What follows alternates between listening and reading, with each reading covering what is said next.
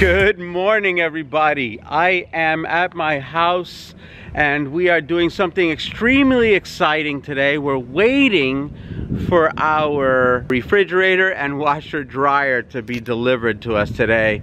There's nothing worse than when they give you that window, like we're gonna be there between 12 and 4. Sometimes they're like, we'll be there between 4 and Friday. So we're starving. I'm gonna run into town and grab some salads for us to eat. And then we're going to wait for the delivery and then we're gonna go out to dinner tonight.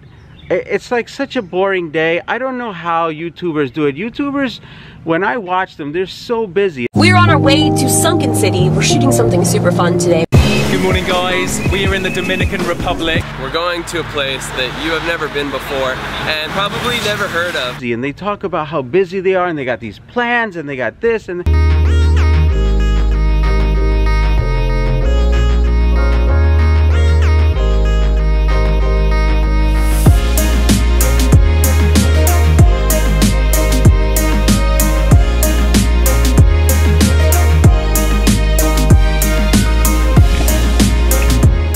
All right, so I made it into town and right now I'm just trying to find a place called Under the Moon Cafe because from what I understand, they have the best salads there. No, I'm gonna sit right here with, with E.T. What do you think?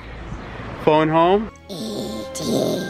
Phone home. All right, let's keep looking for this place. I'm sure it's around here somewhere. So what a great little downtown area. This whole place is new to us. It's, it seems like this is a very old town. So there's a lot of shops, antique stores, a lot of restaurants. A beautiful day. People are sitting outside and just enjoying some lunch. Right,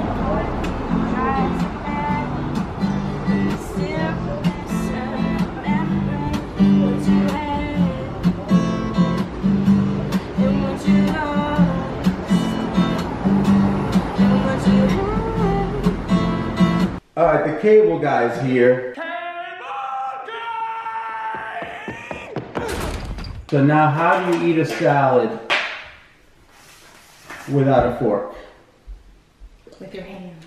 I should have gotten a sandwich. I, I should have remembered to ask her for a fork. I'm gonna have to eat this with my hands, people. I'm not gonna show you me eating with my hands, so I'm gonna pause it here. I guess the delivery guys were a bit delayed. They said they were gonna be there between 12 and 4. Now I hear that the truck broke down and they'll be there between 4 and 6. This happened, so Jen and I, we were getting a little cabin fever because the house is empty, so there's really no nowhere to even sit or wait. So we decided to go for a walk through the community. As you can see, this is kind of our view of what the community looks like. There's a lake. I'm here with my love. Say hi, sweetie. Hi, sweetie.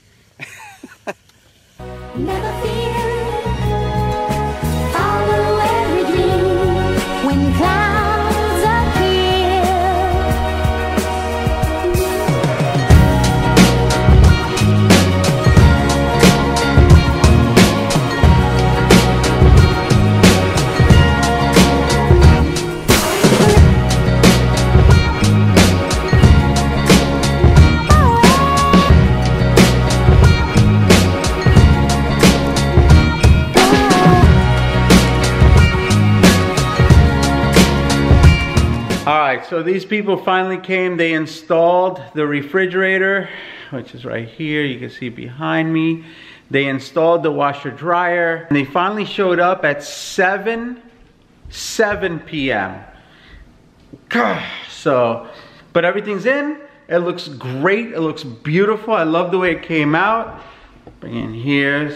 See that? That's what it looks like. It's a refrigerator, it holds the food, right? We're gonna head home. It was a long day. I appreciate all of you sticking with me throughout the day. If you haven't subscribed yet, hit that button below. There's plenty more adventures coming. If you like this video, give it a thumbs up, and I'll see you at the next episode.